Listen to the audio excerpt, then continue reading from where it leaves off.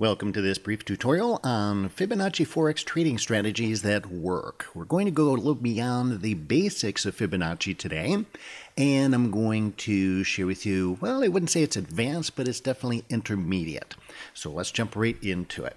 So one of the most basic techniques for Fibonacci is the good old Fibonacci retracement.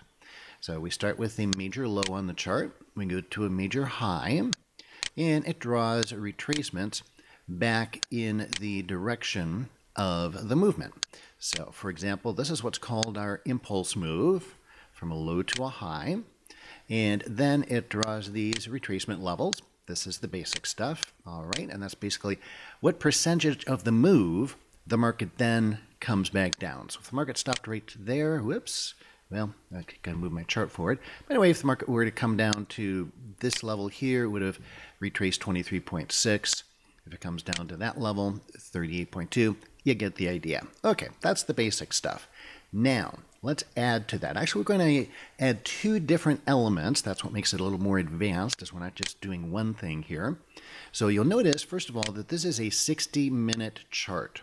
So we're going to combine two different Fibonacci strategies on two different time intervals.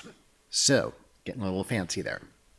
So we did this on the big scale, and these lines are going to stay here. Now, basically, um, Fibonacci levels I just treat as support resistance. Depending on which side of the market trading, they're either support or resistance.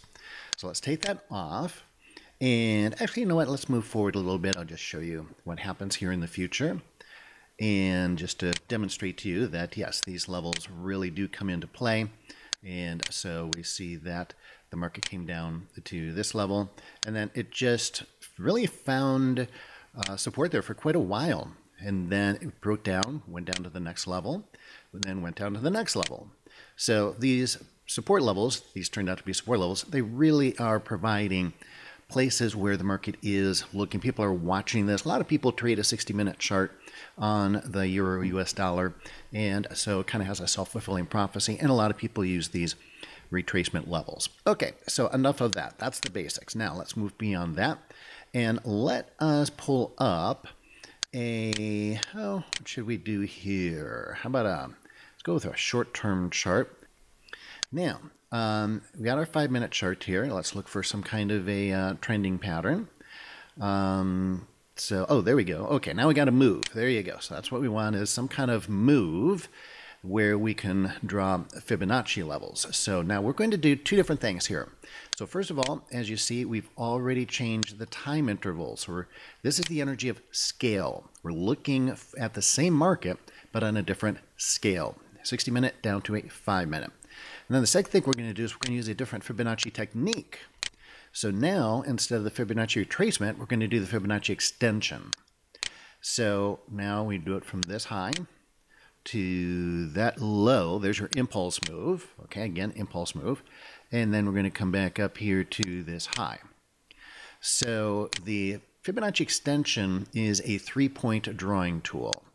And by that I mean, as you saw, so we did our initial uh, impulse move, and then so we're going for one, and then two. So we've got a lower low, and then a higher or a lower high, lower low, lower high. Now, whereas the Fibonacci retracement, if we were to draw Fibonacci retracement from here, would be looking for levels above. Now we're looking for levels below. In other words, really, Fibonacci extension is often used for profit targets.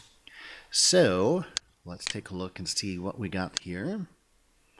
And there you go. So you'll see that to put in this level here, that's your 100% move. That's called a measured move. And then 150%. All right. Now, when it went to 100%, notice, actually, first of all, notice a couple things. What are these horizontal lines here? Well, those are the lines that we drew from our 60-minute chart. They're still on there. So if I go back, you see the blue line there. Let's our, make our scale different here. We're going to have to squish it up a lot. But see those lines, those horizontal lines, there you see the diagonal line um, they're still on there. They're still on there. All right, now come back here, messing up my scaling. but uh, the point is, where did we get our impulse move? There's our impulse move. And then it draws levels into the future for targets. So we've got a down move and we're looking to go short and we're looking for profit targets. And again, support resistance. But notice that the market responded to, so this is from our five minute chart. That's the level we drew on our five minute chart, the extensions. And these lines that go before that, that's the one we drew from our 60 minute chart, the retracements. So you'll see that indeed the market kind of got through that level a little bit, but then it came back and acknowledged it, retraced to it. Then, again, same thing happens here at the 100% level. It goes through it, but then it comes back and acknowledges it. And you'll find that a lot. Then, what's really interesting, and this is really kind of the point of this particular lesson, is that we continue on down, and now we put in our wave 7 and a failed 9 here. But what happens? We have a cluster. We have a cluster of, you can see a black and red line. They're very close together there, but I think you can see those. So from our extension on the five minute chart, we've got 150% extension, and that's the black line. And then we've got the red line from the 60 minute chart, Fibonacci retracement, and that creates a cluster. And there the market really finds um, tremendous support. It comes down to it, bounces off, comes down to it, and then bounces back up again. So that creates a Fibonacci cluster. And let's see what else happens here. Just move it forward a little bit. It comes back, and look at that. It just, again, one, two, three, four. Really having trouble getting through that, isn't it? And as we go through, oh, it finally makes a false breakout so we finally get a, a breakup, but it's a false one. That goes right back up to the measured move, the 100% level. And then guess what? Comes right back down to uh, the cluster. And just showing you a little bit more here just to demonstrate to you how well these levels work. It's there again. Then it comes back up to this level, comes back up to it again. So yeah, this stuff works. okay, the market definitely is looking for the. It's almost like like people will talk about them as the market bouncing off of them, and that's true. But here's another concept for you that you can think of them. Think of them as magnets. So most people treat them as um, the market, or well, the lines repelling the market. And actually, that is true. Sometimes it'll do that. But before it gets there, it almost acts like a magnet, like it changes poles. so once before the market gets there, it's pulling it toward, and then when the market gets there, it pushes it away. It changes the polarity of the magnet. So um, it actually will. The market will go there, and the reason is it's not any kind of you know electromagnetic dynamics going on. It's just purely the fact that a lot of people use these techniques and they have a self fulfilling prophecy because these are the levels where masses of market participants are looking to buy and sell. So it's really that mundane as to why it works. But the little analogy may be helpful for you. If it is, great. If not, that's cool too. So that is a way of combining two different types of Fibonacci techniques, two different time frames, and the reason the clusters work, and let me finish with this, the reason the clusters work is because you will have one group of traders, for example, using a 60 minute chart, and they'll draw those Fibonacci retracements. And then you'll have another group of traders, uh, maybe using a five minute chart, and they'll draw those Fibonacci extensions.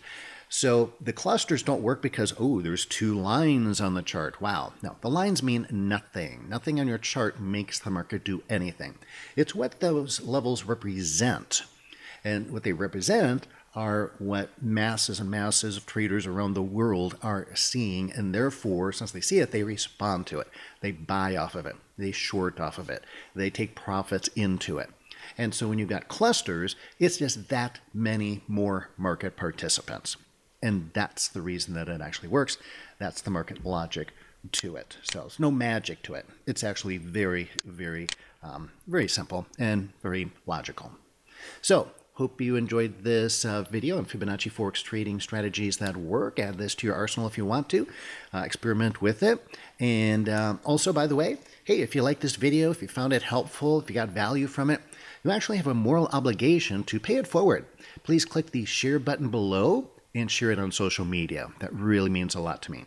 Also, if you're watching this on YouTube, please click the thumbs up icon below and leave a comment. I love to hear your comments and interact with you that way. As you'll notice, I do respond to comments.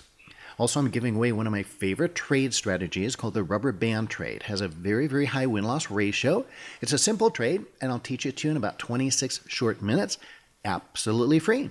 So you can get that by clicking on the image in the top left corner, or if you're on a mobile device, click on the little eye with the circle around it in the top right corner of this video. And if you're not watching this video on YouTube, you found it somewhere else, well, that's great. There's probably a link below or an opt-in form on the side. Anyway, once you choose one of those options, I will personally email the video to you with the rubber band trade strategy.